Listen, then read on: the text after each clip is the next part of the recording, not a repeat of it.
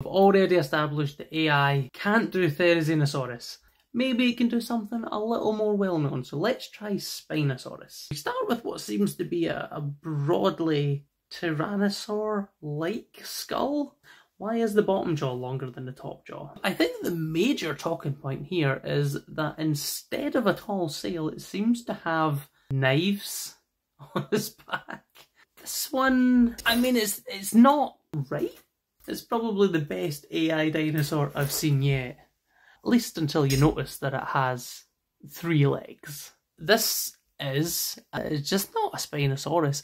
It could maybe pass for another type of more generic theropod at a push, like from a distance. But again, three legs and ridiculously buff set of arms. He's he's got some biceps on him.